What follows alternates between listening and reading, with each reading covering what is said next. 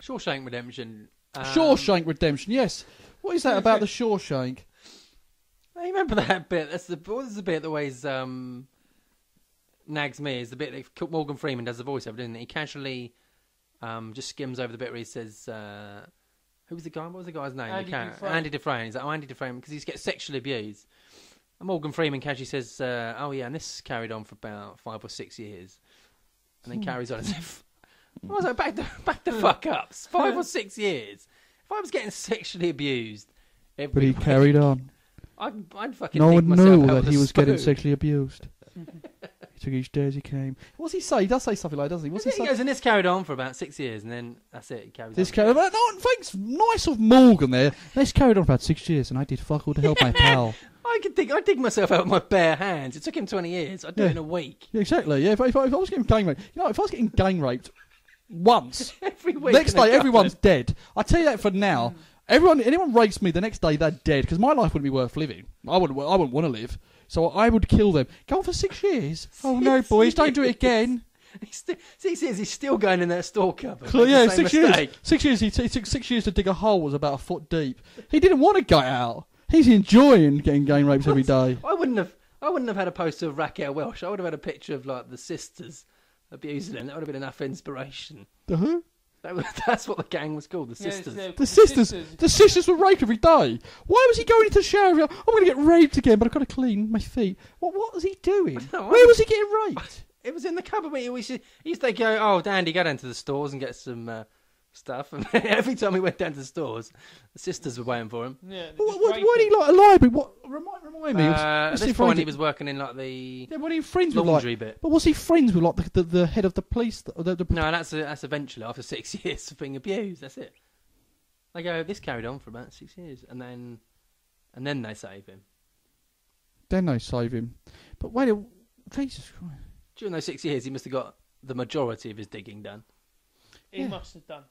He was inspired. That, that is I would an be digging inspiration, non isn't it? twenty four seven if I thought I was going to be raped. I'd be like a mole. Like, I'd be like a kango. You know, but I'd, I'd, I'd have dug. I'd have dug the fucking Euro tunnel. just keep, just keep going. Yeah, I dug down to Australia. Things that that whole film is based on the fact that he's given the cell on the end. Yeah. Any one cell in, and he would have been fucked. We got fucked in six Literally. years. Yeah, he would have dug through. and Go, oh, Dave no, it's the sisters again. digs through to the sister's cell. Why, hello. I think if Francis, how do you think you would have been? One of the sisters. Yeah, and that's it. Oh, bitches? I would no. I mean, I would have just fucked them up. Really, just one at a time. This carried on with Isn't Francis it funny? for Isn't ten it, isn't, years. it, isn't it funny what you see? I mean, like, I just sat there and said, if that was me, I'd kill him. isn't it funny what I say here in the safety of my house? I'm sure that if that option had crossed his mind, I'm going to kill him. That's what I'm going to do. But you know, people do that so often. I do. Don't I do they? all the time. I tell, I tell people all the time. Somebody tells me what happened to him, and I'll say, you know what I'd have done? Yeah. I'd have fucking knocked him out. And in reality, I'd have probably done exactly what he done and said nothing. common thing. A common thing is people always say, "Oh no, if I was in prison on the first day, I would beat up the biggest bloke in there." so they Yeah. think I'm a I'm psycho. going to be a bit of the biggest hard nut in there. Yeah. yeah, when it comes to it, they they realise there's a few. Uh, yeah. their plan's going to backfire. I thought about that. I thought about that. I've actually thought that as well. I thought so. If I go to prison, I'd be the biggest bloke in there. But, the, but we assume you beat this nutcase up. The next day he's going to like not want to fight you again. He want to fight you again. Well, the next day, by the way, Bob wants to have a fight again. But what? I, I beat him up yesterday. Yeah, yeah, yeah. Bob, Bob, Bob. He'll fight you every day. You've opened up a can of worms there, that case, He's got a gang with him today. Yeah. Yeah. Bob's got a shank. Is a here you go, mate. Here's a shank for you. One of my one of my mates Street actually, fighter. Yeah. actually went to prison. I said to him, "What was the biggest fight over?" I said, "Was it drugs? Was it honour?" He went, "No, genuinely EastEnders." Yeah. It is because the other like watching soaps is like a religion. Well, they're just bored, aren't they? Fines, Yeah. a fines a pastime. And he says the biggest riot he ever saw was over Coronation. No, it wasn't. It was Emmerdale. Someone switched over mid. Emmerdale, and you know it just went mental. You sure it's a prison, not, not an old people's home? Panic chairs were being thrown, like the wardens had to come in. It took them an hour to calm it down. Carry on. People were going mental. No one fucking turns it over when it's Emmerdale. Emmerdale now. Yeah, Emmerdale. But that, I remember watching that Louis Theroux. He did one in the American prisons, Uh, and they said there'd been a fight in the cell um, between this big bloke and this little bloke. And you think, oh, it'd be a quick fight, and that'd be they'd split it up, wouldn't you? Um, but he goes, oh, the tenth round, uh, he really kicked the shit out of him. That's what rounds. They're all gathering round Yeah. for ten rounds, just getting your head kicked in. Like somebody help.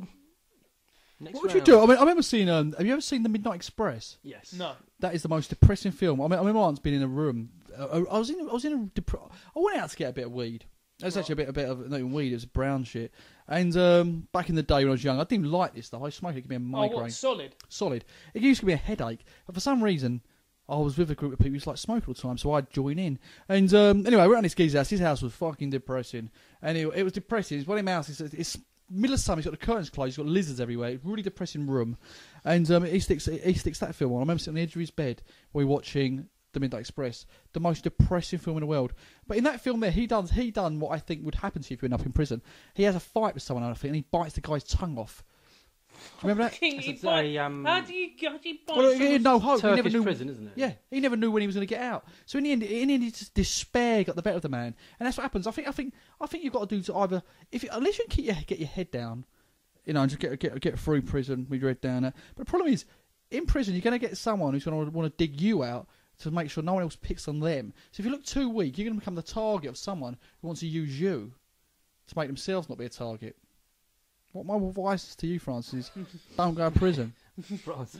Because if we are in No. prison together, I'm going to punch you in the face. I think I would take over prison. I'd have the gang. I'd be the one who controls everything.